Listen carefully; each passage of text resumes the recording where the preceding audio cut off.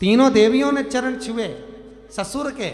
इतने में आंतरिक्षी ने अनसुईया जी का हाथ पकड़ा। अनसुईया, तू पागल हो गई क्या? बेटे इतने इतने से, और बहू लिया साथ साथ हाथ की?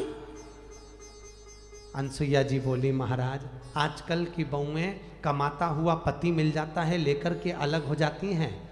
हम माता पिता ने कैसे पाल पोस कर बड़ा करा, ये हम जानती हैं। जब बड़ा करेगी, तब मालूम पड़ेगा, उठा लो रही हर माल दो रुपया।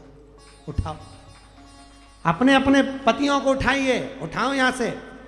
इतने में लक्ष्मी जी ने एक को उठाया। अब इतने से तो थे। उनके घुमा घुमा के देखा तो लक्ष्मी जी पार्वती से बोली, ये तू धर ले, ये तेरा होगा।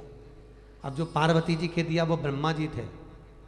तीनों देवियों ने पलट पलट के बदले में उठाए हैं। इतने में अंतरिषि ने कहा, अरे बावरियों पतियों को बड़ा करने में जीवन निकल जाएगा। वापिस सुलाओ। अनसुईया जी के चरण पकड़ो।